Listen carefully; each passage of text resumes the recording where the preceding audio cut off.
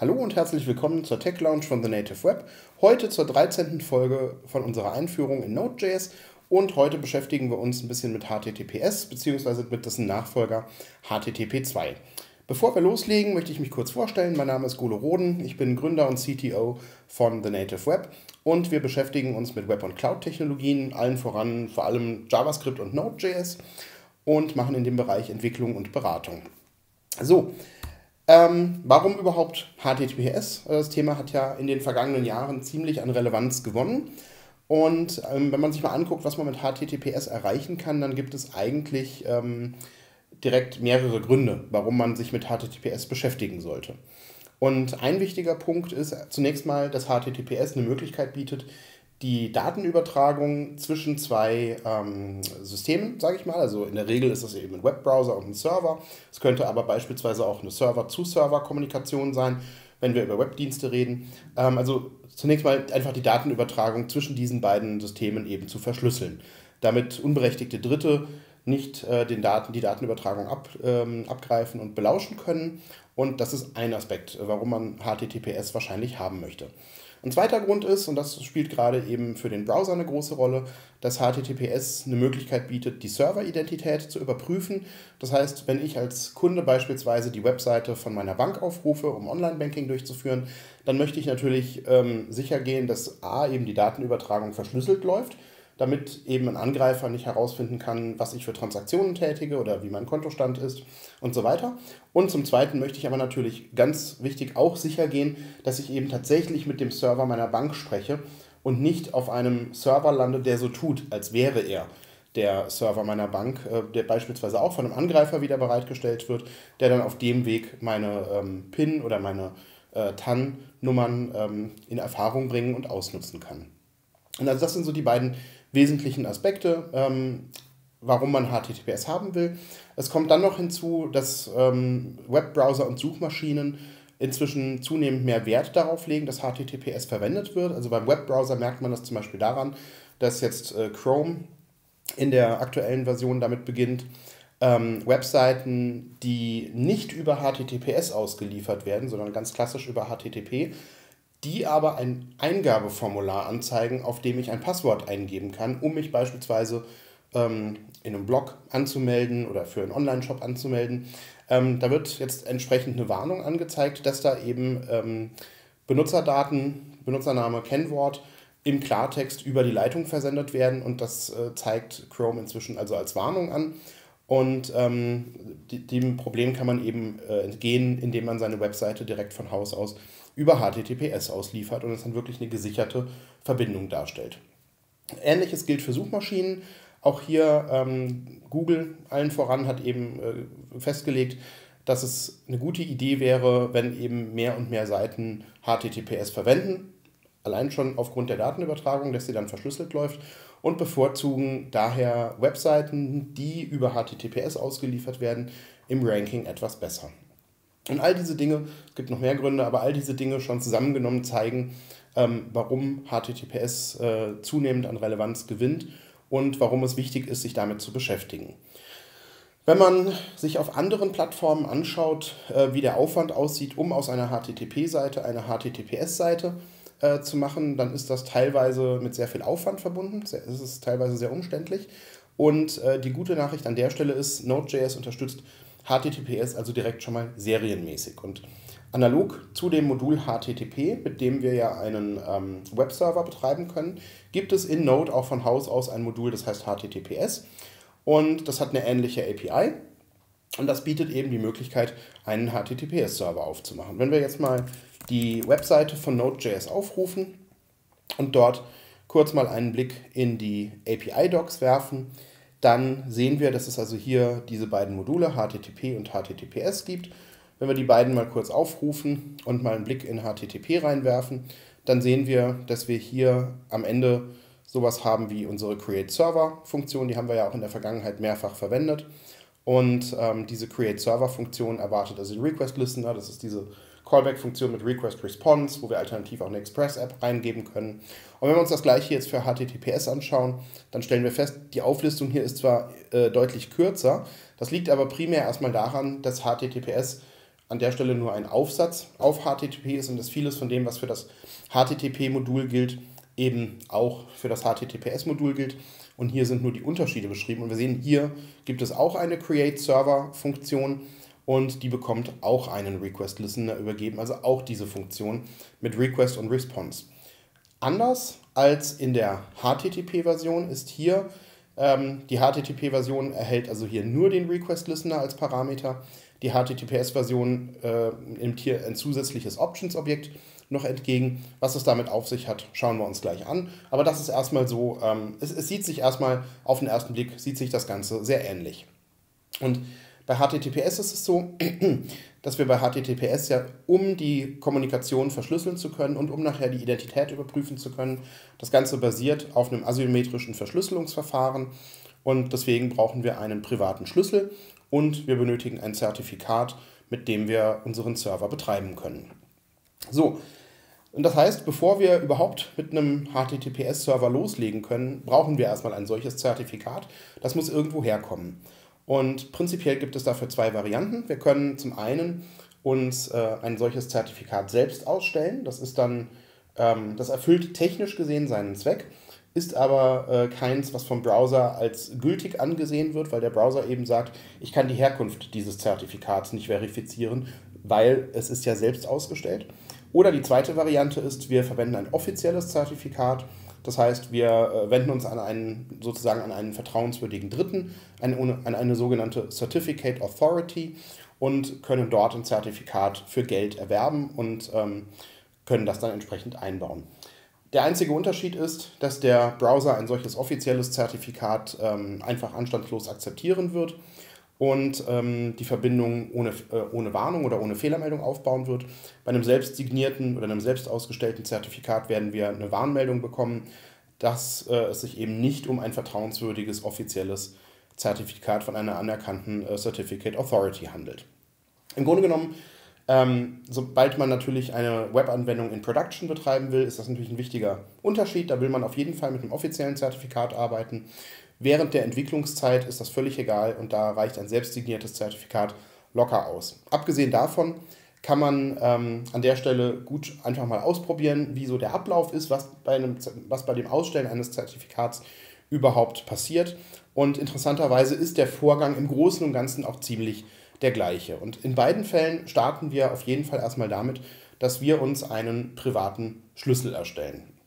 Das Erstellen dieses privaten Schlüssels ähm, das passiert immer auf unserer Maschine, also das übernimmt so oder so nicht die Certificate Authority, ähm, weil dieser private Schlüssel, das ist eben unser Geheimnis, was wir, ähm, ja, was wir geheim halten müssen. Und das dürfen wir nicht aus der Hand geben, wenn wir die Sicherheit des Zertifikats und der Kommunikation nicht kompromittieren oder zumindest gefährden wollen. Und um, um uns einen solchen privaten Schlüssel zu erstellen, gibt es also ein Tool, das nennt sich OpenSSL. Das ist auf den Unixoiden-Systemen ähm, in der Regel out of the box verfügbar. Und das müssen wir aufrufen mit den richtigen Parametern. Und dazu gehen wir jetzt hin und sagen zunächst mal OpenSSL, dann GenRSA, weil wir einen RSA-Schlüssel erzeugen wollen. Und diesen RSA-Schlüssel möchten wir speichern. Also wir sagen minus out in eine Datei, zum Beispiel privatekey.pem. Es gibt für private Schlüssel, für Zertifikate gibt es eine Unmenge an äh, möglichen Dateiformaten. Das PEM-Format ist eins davon und das ist eins, mit dem man äh, sehr, sehr einfach umgehen kann. Und ähm, wenn man von einer Certificate Authority ein fertiges Zertifikat bekommt, dann kommt das nachher nicht unbedingt im PEM-Format, sondern vielleicht in einem anderen Format. Die lassen sich aber auch alle problemlos ineinander konvertieren. Wie das geht, führt an der Stelle vielleicht ein bisschen zu weit. Ähm, da findet man auf Google aber entsprechend viele Hinweise. Aber prinzipiell, wir fangen hier also einfach mal mit einem privaten Schlüssel im PEM-Format an.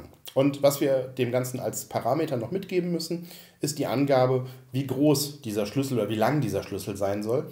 Und ähm, da bietet sich inzwischen oder es empfiehlt sich inzwischen auf jeden Fall, einen 4096-Bit langen Schlüssel zu erstellen. So, und wenn wir das jetzt, diesen Aufruf machen, dann äh, wird jetzt also dieser Schlüssel generiert das dauert eine Sekunde und äh, das war's schon. Und wenn wir jetzt in unseren Editor zurückwechseln, dann sehen wir, hier ist jetzt die Datei privatekey.pem entstanden. Wenn wir die mal aufmachen, sehen wir hier äh, einen relativ langen Text und da steckt also unser geheimer Schlüssel drin.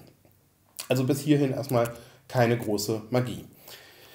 Jetzt müssen wir Zusätzlich zu diesem Schlüssel brauchen wir ja ein passendes Zertifikat. Und dieses Zertifikat, das äh, können wir, wie gesagt, also entweder selbst ausstellen oder wir können es offiziell irgendwo beantragen. Und in beiden Fällen brauchen wir dazu aber sozusagen ein Antragsformular.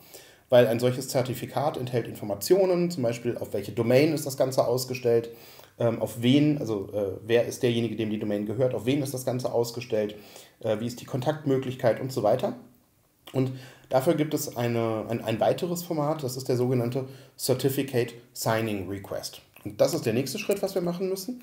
Das heißt, um einen solchen Certificate Signing Request zu erstellen, rufen wir wiederum OpenSSL auf.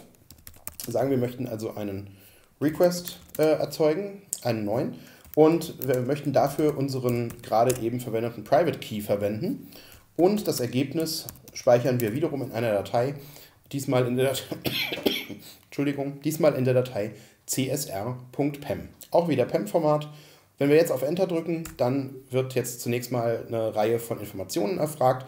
Zum Beispiel, in welchem Land ist denn das Unternehmen ansässig oder die Person, für den dieses Zertifikat ausgestellt wird. Also da sagen wir jetzt zum Beispiel DE für Deutschland.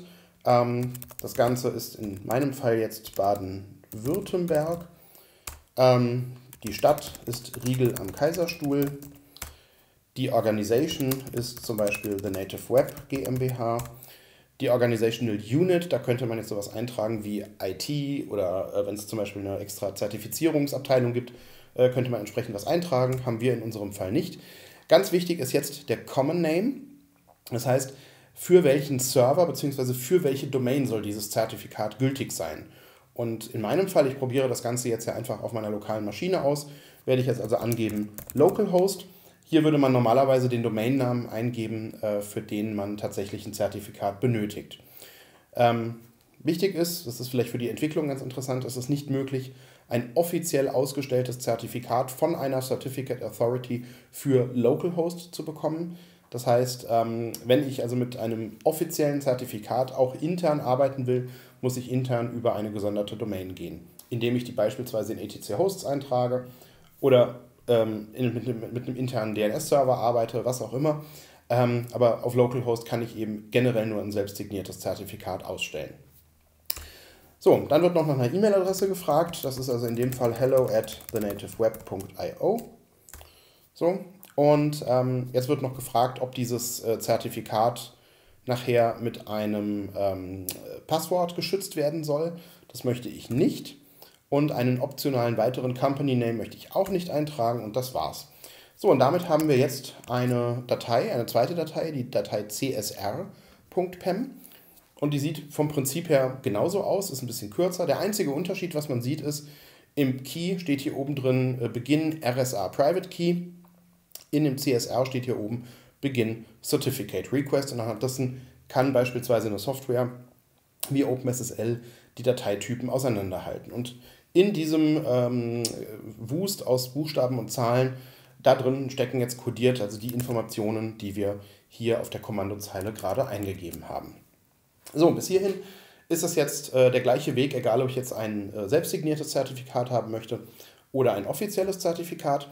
Jetzt ginge es unterschiedlich weiter. Wenn ich ein offizielles Zertifikat beantragen wollen würde, dann würde ich jetzt diesen Certificate Signing Request nehmen an die Certificate Authority schicken. Der Private Key bleibt bei mir. Und die äh, Certificate Authority erstellt aus diesem Certificate Signing Request das Zertifikat und schickt mir das dann zurück.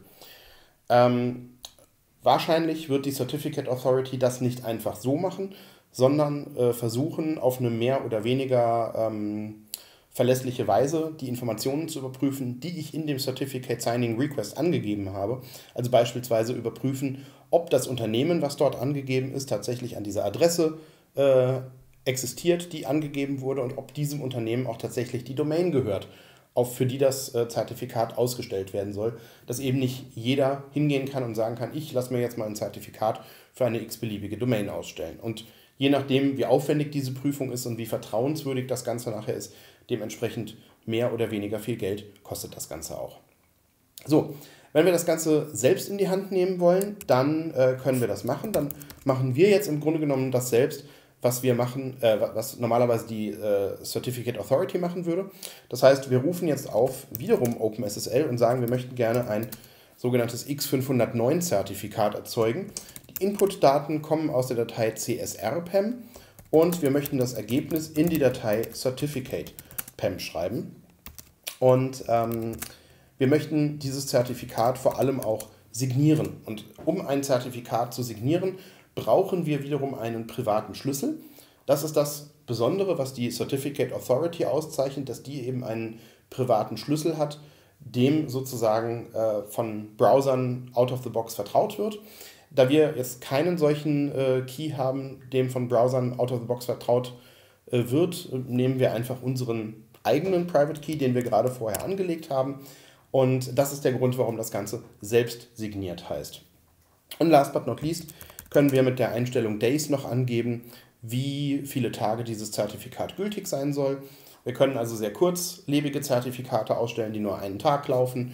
Wir können äh, ein Zertifikat ausstellen, was zehn Jahre lang läuft, was auch immer. Ähm, eine ganz übliche, gängige Voreinstellung ist, dass man ein Zertifikat hat, was ein Jahr läuft. Äh, für die interne Entwicklung will man vielleicht was längerlebiges haben, aber vom Prinzip her, ähm, das sind halt Abwägungen, die man da treffen muss.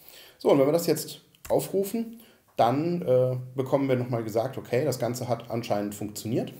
Und wenn wir jetzt nochmal in unseren Editor schauen, dann sehen wir jetzt, dass wir jetzt eine dritte Datei haben, die heißt certificate.pem. Und das ist die Datei, die wir normalerweise von einer Certificate Authority nach erfolgter äh, Prüfung zurückgesendet bekämen. Und da steckt jetzt das eigentliche Zertifikat drin. Unseren Certificate Signing Request, den können wir löschen, den brauchen wir nicht mehr. Der dient wirklich nur dazu, einmalig das Zertifikat anzufordern. Das heißt, die Datei kann weg. Und was wir halt übrig behalten, ist der Private Key und das Zertifikat. So, wenn wir jetzt sicherheitshalber nochmal nachschauen wollen, was in diesem Zertifikat äh, an Informationen drinsteckt, können wir das machen, indem wir auch wieder OpenSSL aufrufen und diesmal als Input aber nicht, nicht den CSR angeben, sondern das Zertifikat selbst und sagen, wir möchten das Ganze in Textform ausgegeben haben und zwar ohne, dass wir es in eine Datei schreiben. Und dann sehen wir jetzt, dass wir hier eine längere Bildschirmausgabe bekommen. Und hier oben sehen wir zum einen den Issuer, also wer hat dieses Zertifikat sozusagen ausgestellt. Und das sind in dem Fall wir selbst und genauso auch das Subject. Also für wen wurde dieses Zertifikat ausgestellt? Das sind auch wir selbst und da würden normalerweise natürlich unterschiedliche Parteien drinstehen. Genauso sieht man also hier die Gültigkeit dieses Zertifikats. Es ist also vom 2. April 2017 bis zum 2. April 2018 gültig und dann eben noch die Informationen für die RSA-Verschlüsselung, mit denen die Signatur geprüft werden kann. So, und damit haben wir also ein SSL-Zertifikat und einen privaten Schlüssel und das sind die beiden Informationen, die wir brauchen, um einen HTTPS-Server starten und bauen zu können. So, wenn wir jetzt einen solchen Server bauen, fangen wir damit mal an. Ähm, wir gehen also hin, haben eine Datei app.js und in der Datei app.js wissen wir jetzt, dass wir nicht das HTTP-Modul, sondern das HTTPS-Modul requiren müssen und wir haben gesehen, dass wir ähm, dort dann create server aufrufen müssen. Da können wir jetzt einfach mal sagen request response und zum Beispiel response write ähm, hallo aus HTTPS und response end und ähm, anschließend starten wir diesen Server noch ähm, auf einem bestimmten Port und jetzt haben wir gesehen vorhin, dass hier noch ein Optionsobjekt einzufügen ist, bevor wir also diesen Händler angeben.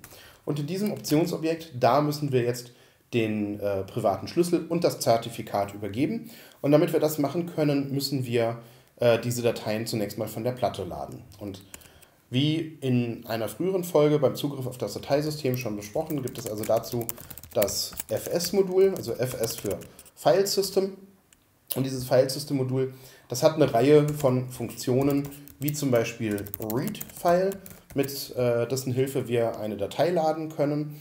Äh, Read-File hat den, ähm, ja, je nachdem wie man sieht, hat den Vorteil bzw. den Nachteil, dass das eine asynchrone Funktion ist. Also der große Vorteil davon ist natürlich, dass sie nicht blockiert.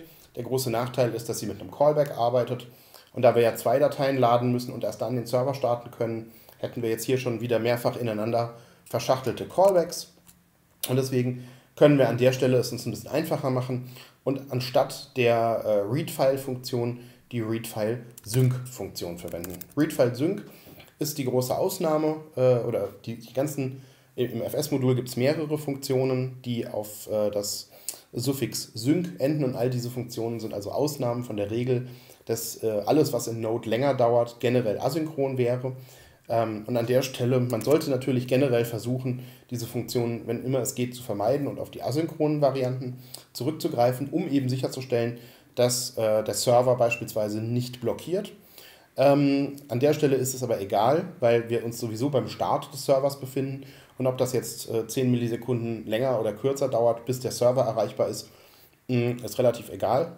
Und äh, sie bieten eben beim Start die komfortable Alternative an, weil man eben von der Syntax her es ein bisschen schöner hinschreiben kann, als äh, wenn man jetzt mit Callbacks arbeiten müsste.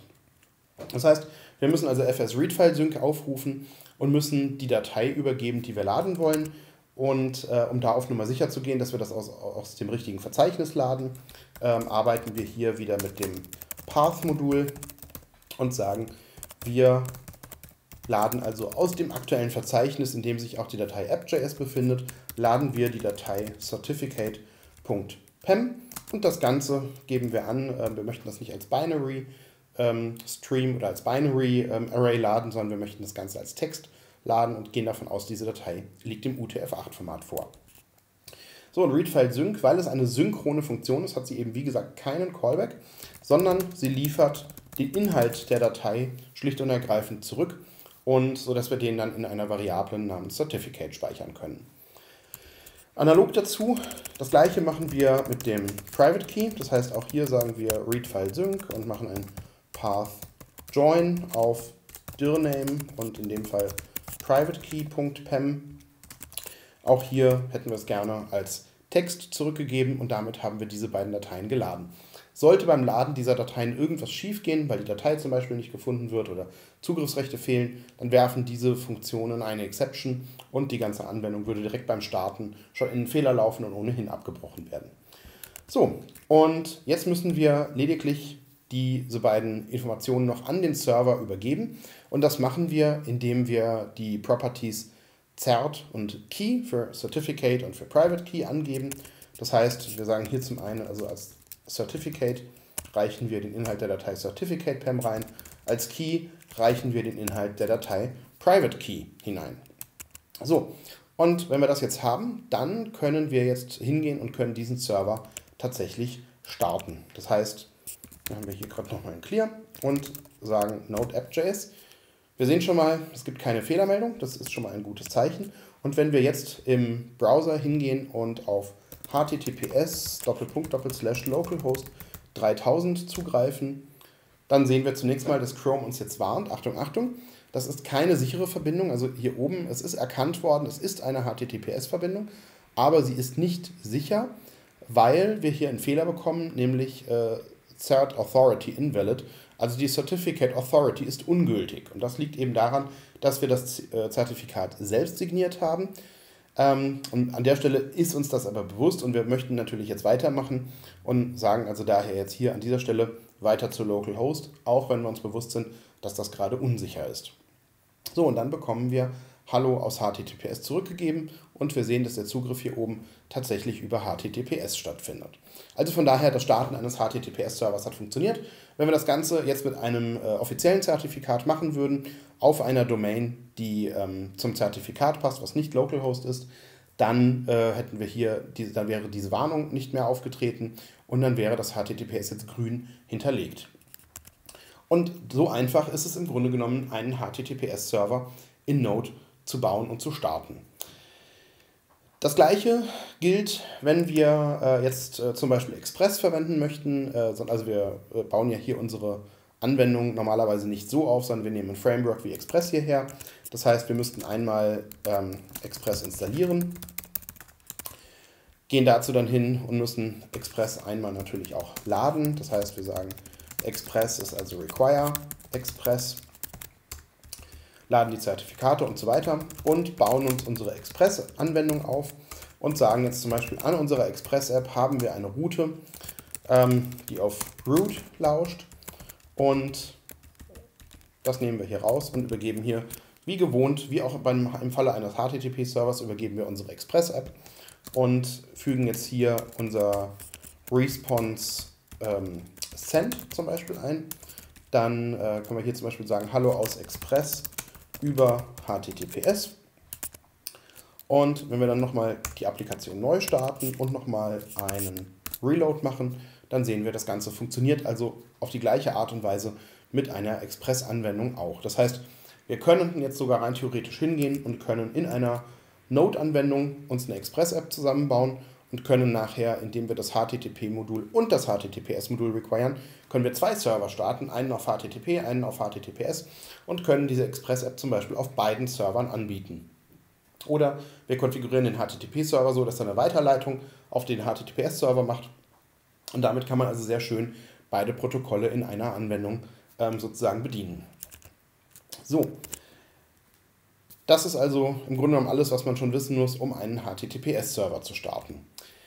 Jetzt gibt es seit einiger Zeit ein neues ähm, Protokoll, das nennt sich HTTP 2.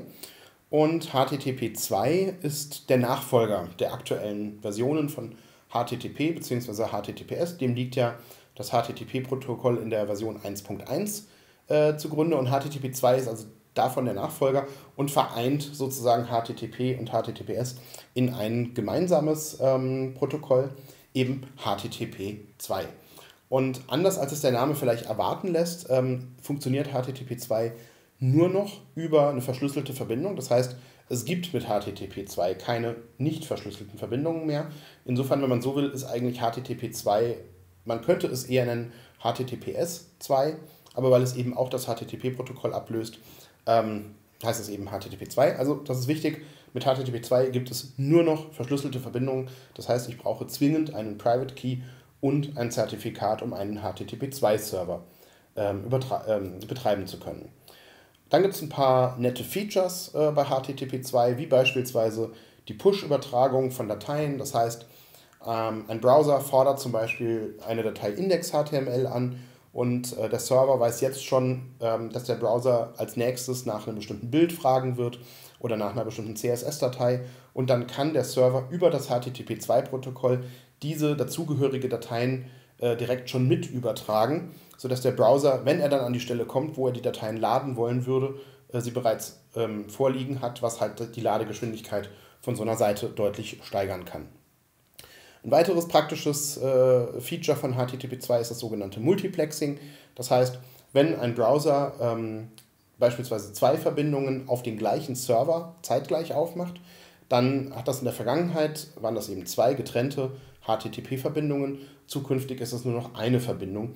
Und ähm, über diese eine tatsächliche Verbindung werden mehrere logische Verbindungen sozusagen getunnelt, sodass ich also im Grunde genommen beliebig viele HTTP-Verbindungen parallel aufmachen kann. Also aus Sicht des Browsers sieht es so aus, als wären es mehrere HTTP-Verbindungen. Tatsächlich werden all diese Verbindungen aber über eine einzige physische Verbindung gemultiplext. Und das äh, ist gerade, wenn man mit APIs arbeitet, die langlaufende äh, Verbindungen offen halten, ist das eine äußerst praktische Sache.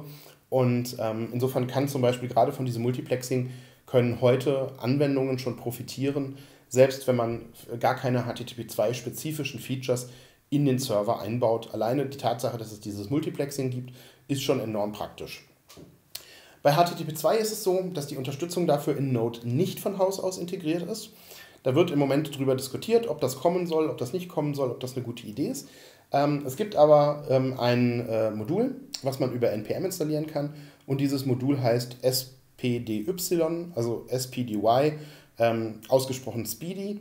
Und äh, dieser etwas seltsame Name für HTTP2 kommt äh, so zustande, dass äh, ein, ähm, ja, ein, ein provisorischer Vorläufer des HTTP2-Protokolls, was quasi mal als Vorschlag, als Entwurf gehandelt wurde. Dieses Modul, äh, Quatsch, dieses Protokoll hieß SPDY und äh, das Modul ist also zu der Zeit entstanden, hat dieses äh, Speedy-Protokoll unterstützt und da HTTP2 Speedy in großen Teilen entspricht, hat man eben das Modul Speedy entsprechend erweitert, dass es eben auch HTTP2 bedient und der Name ist einfach geblieben. Das heißt, wenn man HTTP2 aus einem Server heraus anbieten will, muss man auf das oder kann man auf das Speedy-Modul zurückgreifen.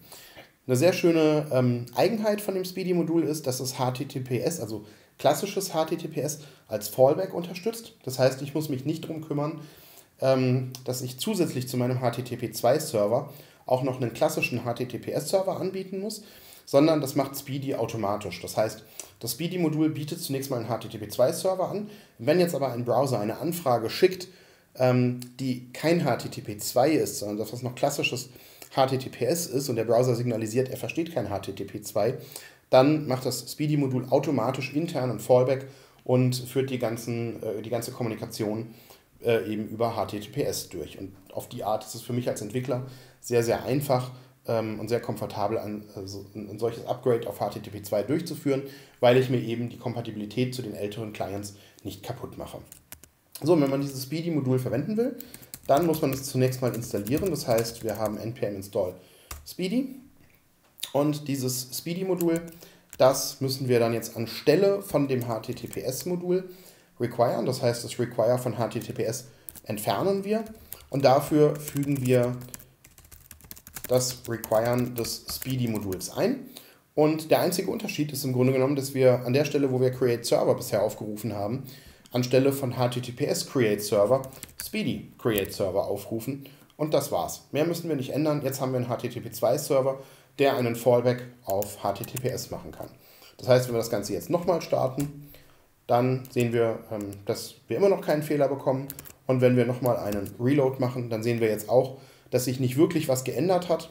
Hier oben der blaue, dieses blaue, dieser blaue Pfeil, das äh, zeigt aber an, dass es äh, eine HTTP2-Verbindung ist. Und hier sehen wir, also es gibt eine offene HTTP2-Session auf localhost 3000. Das heißt, es ist tatsächlich eine HTTPS, äh, Quatsch, eine HTTP2-Verbindung. Wenn wir an der Stelle jetzt nochmal äh, das Ganze rückgängig machen, nochmal auf HTTPS zurückgehen, den Server nochmal neu starten und nochmal einen Reload machen, dann sehen wir, ist der Blitz nicht blau, sondern grau. Jetzt ist es nämlich eine klassische HTTPS-Session. Und auf die Art und Weise sehen wir also, äh, oder kann man sehen, wenn man die, so ein entsprechendes Plugin im Browser installiert hat, ob man auf einer HTTP2-fähigen Seite ist oder nicht. Und wie wir sehen, es macht erstmal aus Sicht des Verwenders keinen großen Unterschied, nutzt jetzt aber beispielsweise unter der Haube eben dieses Multiplexing, wenn wir mehrere Requests zeitgleich schicken würden. Das ist die Möglichkeit, wie wir HTTPS und HTTP2 in Node.js verwenden können.